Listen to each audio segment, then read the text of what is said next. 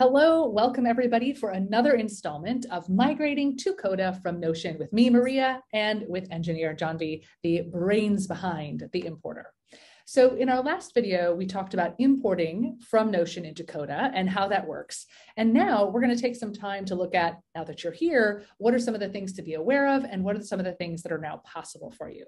So Janvi, let's first start off with, now that we're here, what are some of the things that uh, we should be aware of that we need to maybe do some final polishing or sprucing up of our doc now that it's in Coda? So our importer will do most of the lift and the transition over to Coda, but there are some things that the Notion import export doesn't provide us with. Mm-hmm. And so table filters will be dropped upon import. You can easily add them back just by going to options, filters, and adding them directly.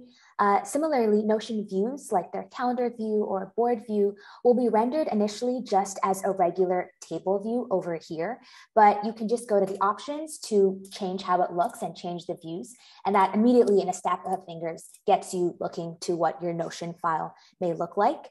Um, for formulas, we carry the result of the formula over to Coda, but not the actual formula because Coda and Notion have very different formula languages. Mm. Um, so those are just some things to quickly uh, spruce up once you've finished your import.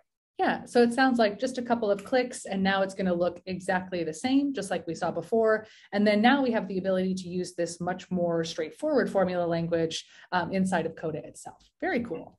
So now, what are some of the things that maybe um, if I've been used to working in Notion and now I'm in Coda, what are some of the things that are going to feel different that I should be mindful of? So in Coda, sharing is on a per doc level. So all these pages and subpages are say, shared with the same people.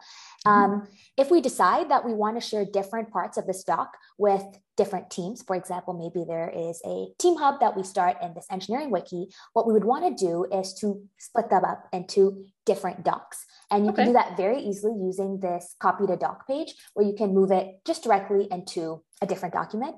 Um, another common confusion is you can bring in the power of a canvas into a table in Coda, just like you can in Notion. It's what we call canvas columns, but it's slightly different from Notion page and rows in that it is a column type. So all this long form data is associated as a column type. Got it. Excellent. And also that copy to doc is one of my new favorite features of like, oh, this needs to have its own life. And it's just a click away.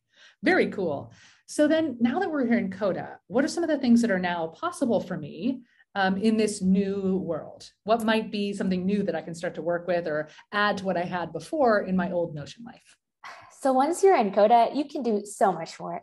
You can add packs to your document so your doc is integrated with the key applications you use. You can set up automations to make the doc work for you. You can create forms, add reactions for everyone to weigh in. And luckily, you won't be slowed down because with Coda's investment into performance, we now have 60% faster doc load, 60% faster image load, and five times faster filtering. But let me actually show you what I mean. Yes. So yes.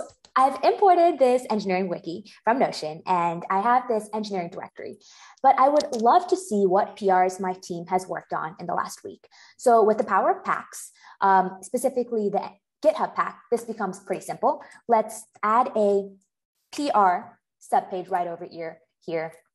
Add a fun little icon just for fun sake. and let's go in and insert a pack, specifically um, the GitHub pack.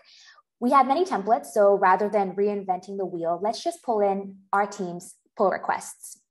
Before syncing the sync table, considering that it's a template, let's customize to what we actually want. So I'm gonna sync it up with my GitHub. Um, and the repo that our team lives in is Coda. So let's pull that up. Um, we wanna pull in the PRs that were created in the last seven days. So let's write a very simple formula, getting a sneak peek into Coda's formula language. And before we sync, we don't need this table that comes with the template because in our engineering directory, we already have our whole team. Mm-hmm. So let's go ahead and delete that. And we will add a filter right over here so that we are filtering by the engineering directory GitHub usernames. Oh, so cool. we've set it up and now let's sync and all that information from GitHub will load directly into your Coda doc. It just loaded in the information from GitHub. and we can see the open and closed PRs from this week in the Nice. last seven days. If you have a big team, this table might get slightly overwhelming, but we can harness the power of Coda's beautiful charts to visually synthesize this information. Let's create a copy or a view of our engineering directory because we want information about how many PRs each person created. The only column we care about here is the person. And let's add a column for the number of PRs they wrote. So we're going to add a formula now to filter the pull requests by this person. So this row dot GitHub username is equal to the author. And we have filtered it, but we want to know how many PRs they actually wrote. So let's write the count. And so we have this formula over here, but we want to visualize it. So let's create a chart and make it look a little pretty in a hot sec. Ooh, yes. Perfect. Okay, and so with just a couple of steps, we have basically got an overview of the number of PRs that people have worked on in a week, as well as what PRs they are. And that's directly in our engineering directory from the doc that we imported from Notion. Very cool. And if we wanted to have that number of PRs in another doc, we could just do that copy to doc and be able to have that wherever we need it. Voila. Excellent. Well, thank you so much, John, for walking us through. Those of you tuning in, have fun now that you're in the world of Coda. And if you ever need help, don't hesitate to reach out. There's an entire company ready and waiting to support you on this new journey. All right, we'll see you next time.